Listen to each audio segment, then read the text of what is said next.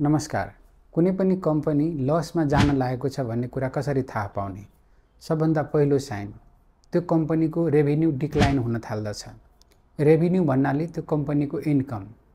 तपाईँले त्यो कम्पनीको इन्कम स्टेटमेन्ट हेर्नुभयो भने टाइम टु टाइम अथवा क्वार्टर टु क्वार्टर त्यो कम्पनीको रेभिन्यू घटिराखेको देख्न सक्नुहुन्छ। दोस्रो राइजिङ डेट लेभल्स। जुन कम्पनी लस मेकिङ टाइपको हुन्छ त्यसमा चाहिँ लोन प्रत्येक टाइममा बढिराखेको देख्न सकिन्छ। अथवा डेट टु इक्विटी रेसियोलाई विचार गर्नुभयो भने टाइम टु टाइम यो इन्क्रिज भइराखेको हेर्न सकिन्छ। यसबाट पनि थाहा पाउन सकिन्छ कि त्यो कम्पनी लस मेकिङ कम्पनी हो भनेर।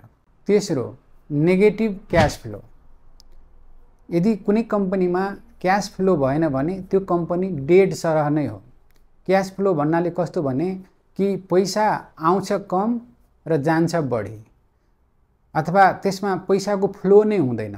पैसाको फ्लो नै नभइसकेपछि त्यो कम्पनी अवश्य घाटामा जान लागेको भने बुझ्न सकिन्छ।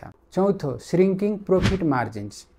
जुन कम्पनीमा प्रोफिट जुन हुन्छ नाफा जुन हुन्छ त्यो घट्न थाल्यो भने पनि यसबाट बुझ्न सकिन्छ कि त्यो लस मेकिङ कम्पनी हो। अर्थात् त्यो कम्पनी लस गर्न गइराखेको छ। र पाँचौँ फ्रिक्वेन्ट म्यानेजमेन्ट चेन्ज यदि कुनै कम्पनीमा टाइम टु टाइम म्यानेजमेन्ट परिवर्तन भइराखेको छ भने यसबाट पनि थाहा पाउन सकिन्छ कि त्यहाँ कुनै डिस्प्युट छ कुनै प्रकारको गडबडी छ जसको कारणले गर्दाखेरि कम्पनीमा लस हुन लागेको छ। यहाँ मैले यी पाँचवटा साइनहरू बताएँ। यदि कुनै कम्पनीमा यी पाँचवटा साइनहरू थाहा पाउनुभयो भने त्यस्ता कम्पनीबाट टाढै बस्नु राम्रो हुन्छ।